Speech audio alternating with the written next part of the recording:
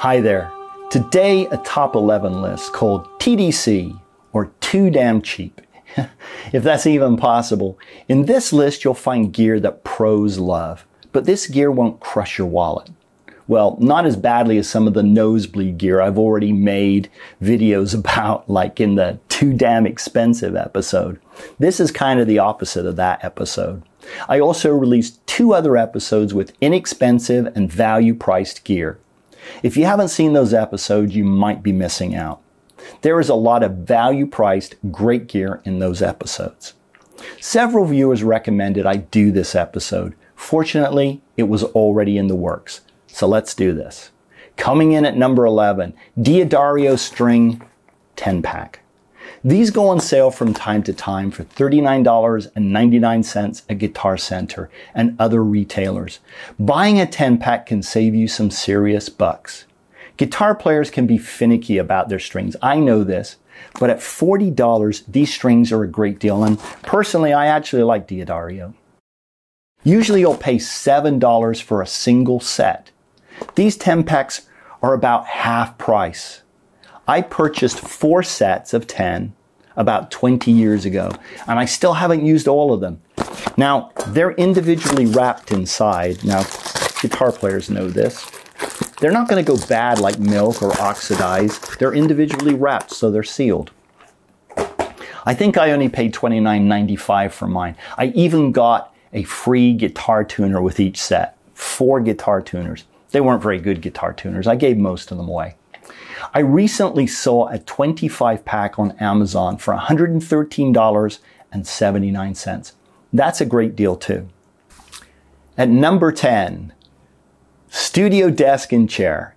This is a weird one, I know, and it's really a Jeffy thing. I threw it in because studio desks and chairs can be expensive. The simple desk that I use costs about $1,500. And if you can't really see it there, I'll throw in a good picture but I only paid $100 for it. It's got a heavy duty steel frame and a one and a quarter inch laminated top. I live in Silicon Valley and high tech startup companies spend ridiculous amounts of money on office furniture. When they go bust, they sell furniture for pennies on the dollars. And it doesn't really matter where you live. There are always companies doing this. You should look in used furniture stores for tables, desks, and chairs that suit your needs. Don't spend high prices at Staples or Office Depot for subpar furniture. Great condition used office furniture by big name suppliers such as Steelcase and Vitra are generally better constructed. The chair I have is a Meda Pro by Vitra. I'll throw up a picture in a minute. It's a very basic looking chair, but chairs like this cost $150 to $400 used on eBay or $700 plus new. I paid $15 for it from the same place I purchased the table. Am I a cheapskate? Yes, I am, but I'm also frugal. Previously, I used an office desk with a shelf for the monitor. And this story might be helpful for some folks. I purchased some rack rail at a music store, probably Sweetwater, and created my own racks right in the desk. Here's a picture of that old setup. Strangely, there are two other items in this picture that appear in this list. Home Depot had pieces of melamine laminated particle board that I used for the verticals to which the rack rail is bolted. I also used it for the top shelf on which the monitor sat, and it matched perfectly. I did buy the original desk at Office Depot for $59.95 on sale, but I modified it to suit my needs. This was like 20 plus years ago. You can do this. With the rack rail and the melamine, it probably cost me another $30, and it would be a little bit more than that today. All you need are some basic carpentry skills. You can cut rack rail with a hacksaw or use a compound miter saw with a metal cutting disc, which is what I did.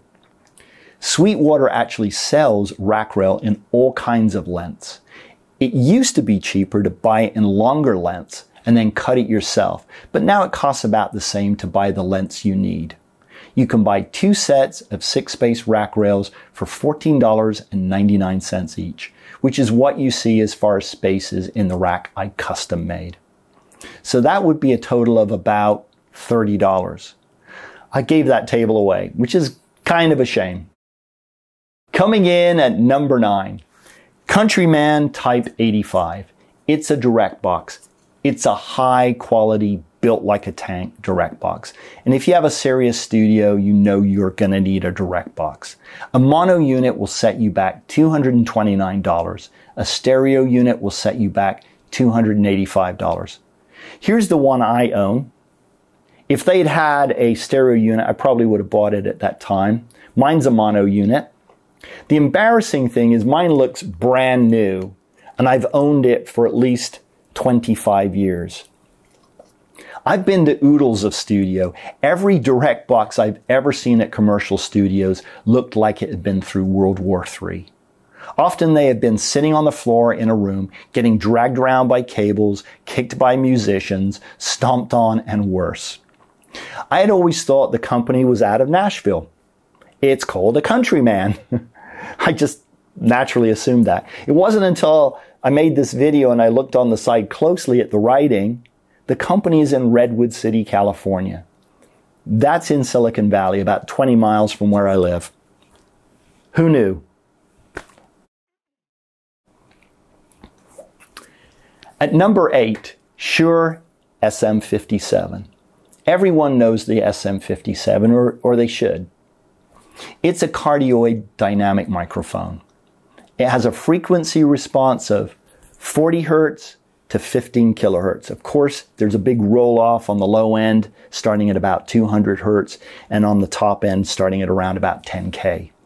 This can have advantages in live situations and in the studio when miking mid-range instruments like voice and guitar. What some people may not know about the SM57 is that it is heavily faked, and I mean heavily. And the fakes use significantly inferior components. For a lot of people, without having a real one in one hand and having the fake in the other, it would be impossible to tell a real one from a fake one. The knockoff companies get better at faking them every year. A real SM57, and this one is a real one, can be purchased for around $89. It's worth buying one from a reputable store like Sweetwater. It's well made and it will last a lifetime. Buying one used on eBay or Reverb is a gamble. Pros love the SM57, especially studio engineers and pro guitarists. They will use an SM57 along with a Royer R121 to mic guitar speaker cabinets. A Royer R121 is not on this list. It's a ribbon mic costing around $1,500. Later in this episode, I'll tell you how I mic my monstrous cabinet on a budget. The SM57 is a value mic. Consider it. Number seven, 3M duct tape. Whether you call it gig tape or duct tape, it doesn't matter. When I was playing live, I was always asking other musicians to let me buy some of their, or borrow some of their gig tape. Not buy it, they, I wanted to borrow it. I never had much money back then. Keyboards were expensive, right? Uh, I owe a lot of people duct tape. Anyway, it stops your guitar pedals, keyboard pedals, drum pedals from running away from you. There's a lot of brands out there. Some claim to leave no residue and charge ridiculous prices. Perhaps there's one that truly delivers on the claim, but I find that they don't stick very well. You can get a 1.88 inch wide roll that's 50 yards long of good 3M basic gray duct tape at Home Depot for $7. Coming in at number six, a pop screen. A good pop screen is a must for a recording studio, especially when you're recording vocals. You can pay $10 to over $100 for a pop screen. A lot of people don't know really what to look for when they're looking for a pop screen. So perhaps I can help with that. Here's the one that I own. The first thing to look for is the material that the screen is made from. You want one where the screen is flexible and not really hard. Some screens are made from multiple layers, often as many as four layers. Generally, good material is smooth to the touch when you run your finger across it and it feels soft. Most people think the idea behind a pop screen is to stop plosives, that p sound that just pops the diaphragm on the microphone. That is accurate, but incomplete. It also stops specks of saliva getting on and into your expensive condenser microphone. The second thing to look for is the clamp that attaches the pop screen to the mic stand. Some have a bar like this, and personally I like that because it gets the screen immediately away from the mic. Some aren't made very well and will keep sliding down when you try to tighten them. Make sure there's metal components in the clamp. The third thing, the third thing, uh, putty cat. The third thing to look for is the actual screen enclosure itself. Good ones are two concentric circles and they have this adjuster here. What that actually allows you to do is to take the unit apart and replace the screen. The screen is actually held in with friction. Some just have a replaceable element, but generally it's just screen, it's a screen portion held in with friction. This also allows you to adjust it this way. A good pop screen by Shure will cost you about 40 bucks. On Stage makes one for about 26 bucks. And when I was making this video, it was actually on sale at Sweetwater for, I think, $14.99. So that would be a good deal. Another thing about pop screens is you can buy a pop screen for 10 bucks, and that's probably going to serve you well. If you're careful and you don't work in a highly trafficked studio that has blind porcupines in it, you're never going to have to replace the screening, screen material on your uh, pop screen. So you don't really need to think about that. Uh, I should have also said that this one has a 12 inch gooseneck, which makes it easier to get the, the screen exactly where you need in front of the mic. That's more important and hard to do on some screen screens that aren't well made. So you want to be sure of that. And that's really about it for pop screens. Number five, Craig Laboratories Deoxit or any good quality contact cleaner. If you own outboard gear, and especially if you own classic synths with lots of sliders and circular potentiometers, aka pots, you've probably had one that became scratchy. A little spray of Deoxit will probably take care of that. Deoxit has been a trusted product used by electronics enthusiasts, professional repair shops, and pro musicians for years. Most of the time, you can squirt a little into the potentiometer from the outside. This is generally true for sliders and rotary potentiometers. For guitar players, it works great for scratchy pickup switches. I use it on my guitars when they get scratchy. In some cases, you may need to open up the device to get better access to the scratchy component. And a lot of rotary potentiometers actually have a little kind of like little hole where you can squirt some in. Once you've squirted it in, just slide it backwards and forth or rotate it around if it's a, if it's a circular one, and that should take care of it. This is Deoxit, and you get a five ounce can for about $17. This is a generic brand that I bought years ago when I couldn't find this one, that I found it.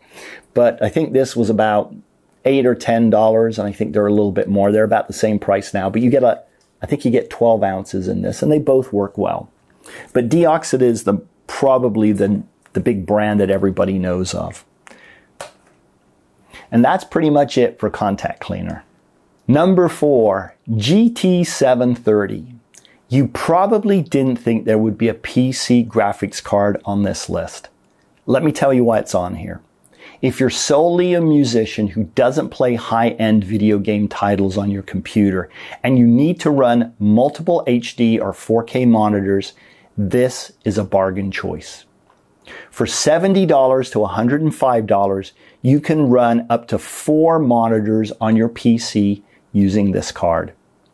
Some are passively cooled, meaning they don't have fans that sound like an SR-71 preparing for a takeoff. A lot of people record in the same room as their computer, so a version without a fan won't add any fan noise. This one is passively cooled. That's, that's the heatsink right there. There are several other variants of this card. The first specification to be aware of is the amount of memory the card has.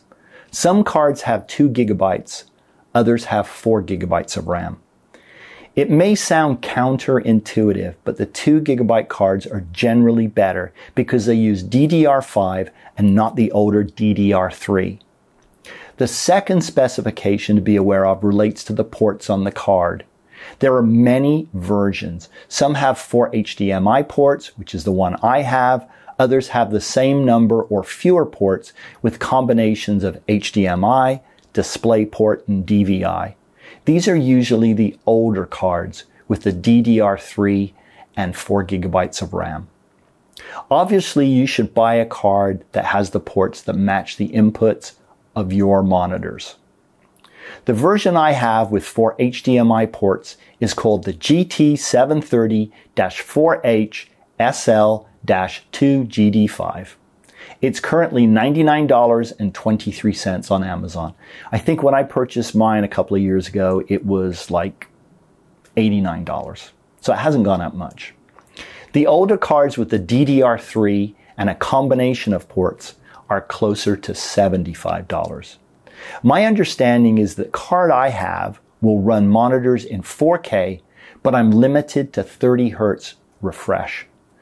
What I mean by that is a 30 hertz refresh rate rather than a 120 hertz refresh rate.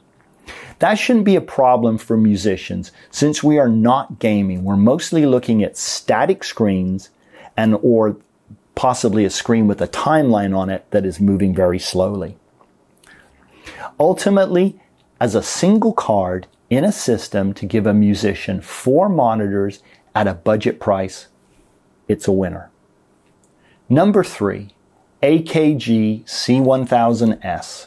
This is a small diaphragm condenser mic. They are currently on the Mark IV, which is black in color. I own three of these mics and all of them are champagne in color. That's because I bought them decades ago. Pros love this little mic for all kinds of applications. As a mic in a multi-mic setup for miking drums, usually for miking the mid-range, so toms. In an X configuration to mic acoustic sources like classical nylon and steel string guitars, which is an application I've used them for from time to time. Also using this mic with a Shure SM57 to mic guitar speaker cabinets. Now the pro choice would be to use a Royer R-121 ribbon mic with the 57 and not the AKG, but I've had good success with the AKG and Shure combo. Also, the Royer is $1,500 and the AKG is $250. So it's affordable with great quality for the price. It has a frequency response range of 50 Hz to 20 kHz. Its response is pretty flat from about 250 Hz to around 3 kilohertz, which is why I like it and pros like it because it's flat across the mid range. Pickup patterns include cardioid and hypercardioid when using the included PPC 1000S polar adapter that slips over the mic element. Maximum SPL with 0.5% total harmonic distortion is 137 dB. The max SPL for the Royer is about the same. Obviously, there's more than SPL to consider when miking a guitar speaker cabinet, but know that you can crank up the speaker and the AKG will take the loudness just as well as the Royer. It runs off of phantom power or a battery, which makes it a nice quality field microphone. The older mics take a 9 volt rectangular battery. The new mics take two AA batteries and claim to have up to 120 hours of operational time. For its size, it's heavy, and you can feel the quality when you hold it. I purchased two of the mics in a package, and they came in these containers. When I purchased them, it was $250 for two of them, and they came in these containers. just take them out here, but that was probably 20 plus years ago. I don't know if you can get them in these containers anymore. You probably can, but I don't know. You have your um, mic clip here, You have the little widget thing. Somebody once called it a widget. This slips over to give it that hypercardioid response. And when you see the mic element, you'll know what I mean. Here's the mic.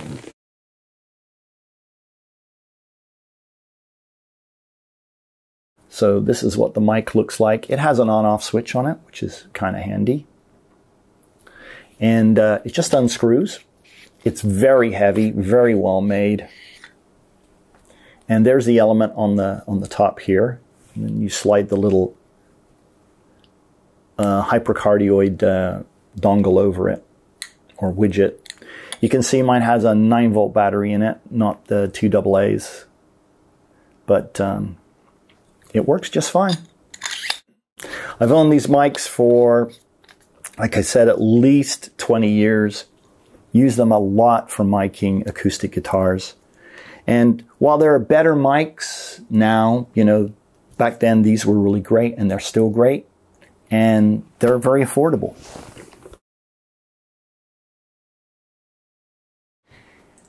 At number two, Beyerdynamic DT770 headphones. Pros and everybody I've met love these headphones. DT770s are venerable. Next year, they will have been in production for 40 years. I have two pairs that I've owned for about 35 years, and they are the 250 ohm model. The models include 32 ohms, 80 ohms, and 250 ohm versions. There's also another one, and I'll get to that in a moment. Replacement parts are readily available. I have replaced the headband, the ear cushions, a couple of times on these headphones. From constant use, the headbands decay and the ear pads wear and turn a brassy color from sweat and oils from people's skin. The ear pads start out as gray in color. They are great quality with superior definition and excellent bass response. The best bass response I've ever heard in a pair of headphones. They are closed back, super comfy to wear for long periods of time, and perfect for isolation when recording acoustic sources in the studio. A set will cost you $169. There is a limited edition model called the Pro X, which has a detachable cable and special lettering. But sonically, the specs are the same, except the Pro X are 48 ohms. Don't buy the Pro X on Amazon for $269. If you want the Pro X, get them at Sweetwater for $199 or $219.99 with the hard carrying case. Quick true story. For over 20 plus years, I recorded demos with a friend. One day his wife called me to ask if I could suggest a music gift for her husband. I think it was for his birthday. I told her to buy the DT770s. He was always using mine and I knew he liked them. Did she purchase the 770s? No, she got him DT990s, which she probably thought would be better. I mean, obviously 990s are 220 better than 770s, right? Unfortunately, the 990s are open back, so they are useless for isolation purposes. Moral of the story, you can share your advice with people, but don't expect them to value it or follow it. I tell you this story now so you won't make the same mistake, and so you might consider subscribing to get me to a thousand subscribers. We're almost at the number one. Before I tell you what it is, I did want you to know that I seriously considered making the DT770s number one. They truly deserve it. But unfortunately, the number one deserves it more. And this is it. The Shure SM58. I think a lot of people knew this was coming. Pros love this microphone. Similar to the SM57, it's a cardioid dynamic microphone. It has a frequency response of 50 hertz to 15 kilohertz. Of course, there's a big roll off on the low end and the high end, just like the SM57. This is the world's most popular live vocal mic. Because of that, and like the SM57, what some people may not know is that the Shure SM58 is heavily faked, and the fakes use significantly inferior components. They come in a very convincing box, but only a real SM58 performs like an SM58. For a lot of people, without having a real one in your other hand, it's impossible to tell a real one from a fake one. And even when you do have a real one and a fake one side by side, it's still not easy. I can't tell the difference. The knockoff companies get better at faking them with every generation. A real SM58 can be purchased for around $89 or $93 if you want an on-off switch. It's worth buying one from a reputable retailer like Sweetwater. It's well made and it will last you a lifetime. Buying one used on eBay or Reverb is a gamble. I wouldn't do it, but it's up to you. You used to be able to find fakes discounted on these sites, but that became a tip off that they were fake. Most of the time, they are simply listed for retail or a dollar or two less. The SM58 is a great mic and a great value. Hopefully, I haven't wasted your time. Take care, and I'll be back in another episode soon.